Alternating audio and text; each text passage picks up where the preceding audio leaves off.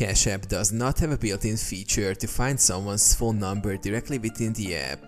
However, if you need to obtain someone's phone number for Cash App purposes, you can try the following methods. Check your contacts. If you have previously exchanged payments with the person using Cash App, their phone number may be saved in your phone's contacts. Look through your contacts list to see if you have their number stored.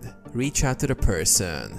If you have communicated with the person outside of Cash App, such as through messaging apps or social media platforms, you can reach out to them directly and ask for their phone number. Explain why you need their number for Cash App and assure them of your intentions. Use Cash App username.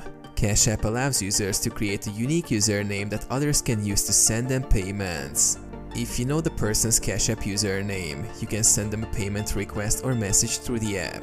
However, this method does not directly provide their phone number.